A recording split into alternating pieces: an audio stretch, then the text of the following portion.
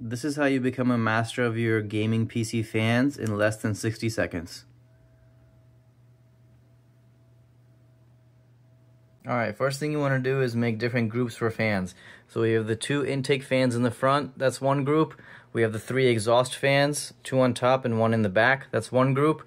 You have your CPU cooler fans, that's one group. And then you have your GPU cooler fans, that's another group. All of those specific fans are going to be daisy chained together. So you have one, two, three daisy chained for the fan control.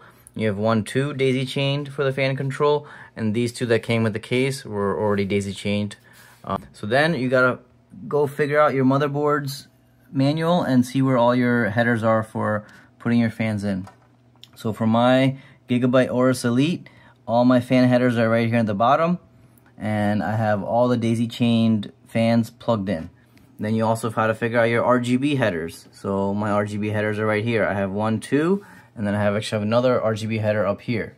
So the front fans are 140 millimeters. They blow a ton of air at everything in your in your case.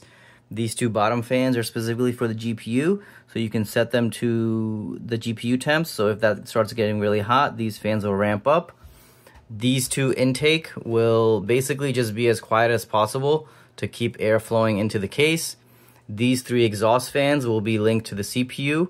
So if that starts getting really hot, then these will ramp up a little bit to help pull out that hot air. Obviously the CPU fans are linked right to the CPU temperatures. And you can also have your intake fans in the front linked to your CPU just because it's kind of your central point in your system. Typically the GPU does start warming up the CPU as well when they both are under load. So it's good to have a nice harmonious linkage of everything so it all works together. Then you're going to download a software called Remy's Fan Control and you can have full control and become a master of your fans.